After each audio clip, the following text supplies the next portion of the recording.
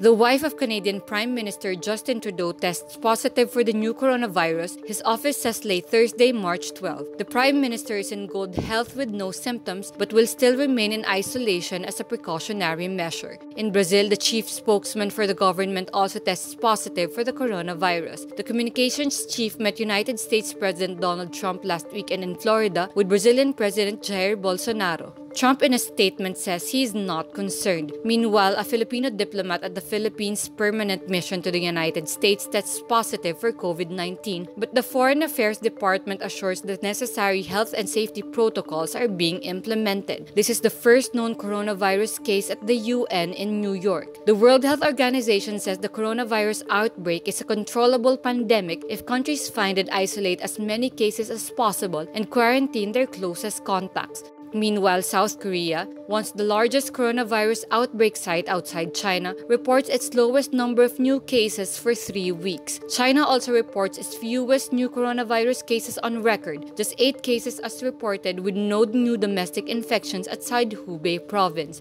In Singapore, Prime Minister Lee Hsien Loong rules out a lockdown of the city-state Thursday, March 12. What we are doing now is to plan ahead for some of these more stringent measures try them out, and prepare Singaporeans for when we actually need to implement them. We will have to tighten up further, temporarily, though we cannot completely shut ourselves off from the world.